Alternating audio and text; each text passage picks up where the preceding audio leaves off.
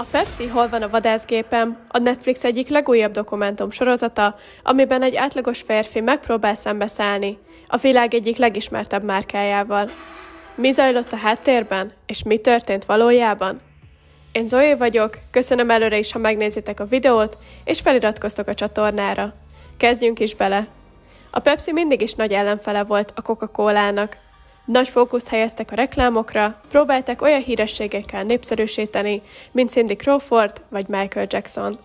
A Pepsi manapság is az egyik legismertebb márka, de sokkal nagyobb jelentősége volt a 90-es években. Szerettek volna előnyt szerezni a Coca-Colával szemben, és próbálták népszerűsíteni a márkát.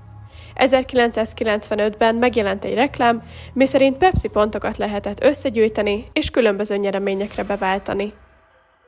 Pár száz Pepsi pontért járt egy szemüveg, 1400 pontért kaphattál egy bőrkabátot, ami akkoriban nagy ritkaságnak számított. És a reklám végén megjelent egy hatalmas vadászgép, ami alatt az a felirat állt, hogy 7 millió Pepsi pontért kaphatsz egy igazi Harrier vadászgépet. Viccnek szánták, de sehol egy apró betűs rész vagy felirat, hogy ez csak poém volt, és ez pont elég volt ahhoz, hogy egy ember komolyan vegye. Szerintem hasonló kérdések merülhetnek fel mindenkiben. Első, mire kell valakinek egy vadászgép? A sorozatban azzal érveltek, hogy repülősoknál, filmeknél, reklámoknál majd ki lehet törük bérelni, illetve jó befektetés lenne, mert egy ilyen vadászgép több tízmillió dollárt is érhet. Nagyon átgondolták. A második kérdés, hol tárolnád egyáltalán? Azért érdekes lenne, ha egy vadászgép megjelenne a hátsó udvarodban, Hát néznének a szomszédok rendesen. Ezt specifikusan nem mutatták meg, de az egyik interjúban azt válaszolta John, hogy lenne egy füves terület, ahol parkolhatna a gép. Harmadik kérdés.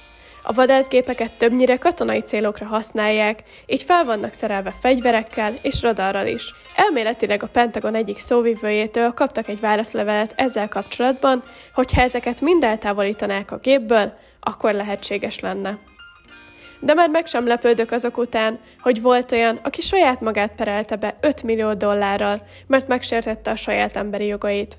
Egy másik hihetetlen per szerint egy férfi beperelte Michael Jordant és a Nike-t, mert túl gyakran összekeverték a kosárlabdázóval, és ez sokszor ráébresztette, hogy ő nem lett sikeres.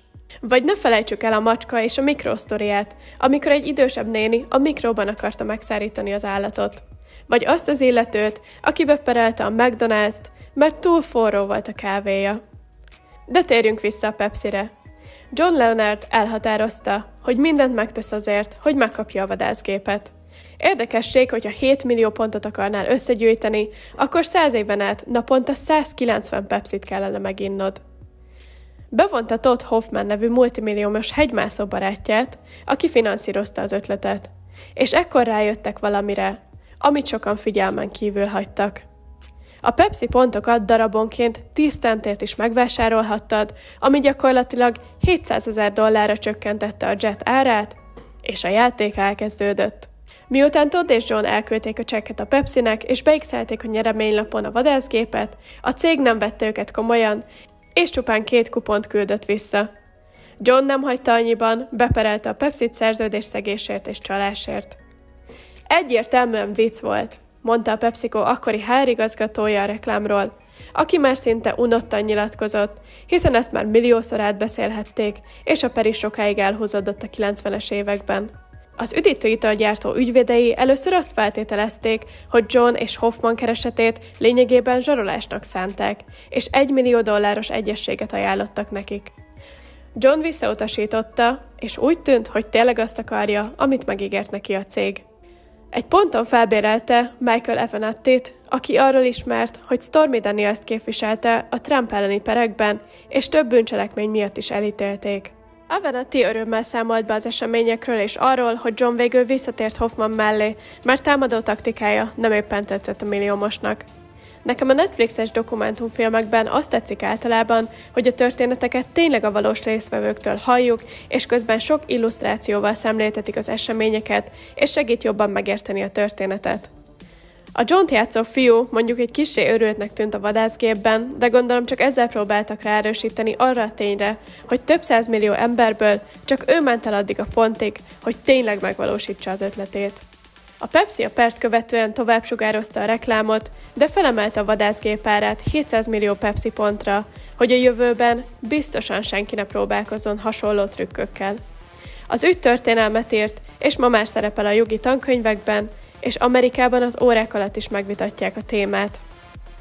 Elmondások szerint olyan bírónőt kaptak a tárgyaláson, aki köztudottan a nagyvállalatok felé hajlik állítólag, és a végén ejtették az ügyet.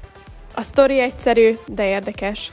Bár szerintem négy rész túlságosan sok volt a történetre, elég lett volna egy egyórás film is. Ti emlékeztek a reklámra? Írjátok meg a kommentben. A mai videó ennyi lett volna, én nagyon köszönöm, hogy megnéztétek, és találkozunk a legközelebbi videóban. Sziasztok!